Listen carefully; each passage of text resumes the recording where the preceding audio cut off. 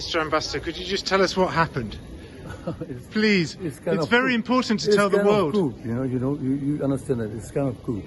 You know, middle of London, you know, uh, this kind of you know coup is not going to happen. You can see that you know they they, they occupy my building. I am a sort of Myanmar, you know, here, not not the government you know, representative. You know, I'm ambassador of Myanmar. And have you asked the Foreign Secretary, Dominic Raab, about this Yeah, situation? we are we are you you know we are waiting for the inspection. What would you tell the world? What should happen now? Give you your embassy back? No, no, you know, this is my building, you know, I, I need to go inside. That's why I'm waiting here. Okay. Um, so,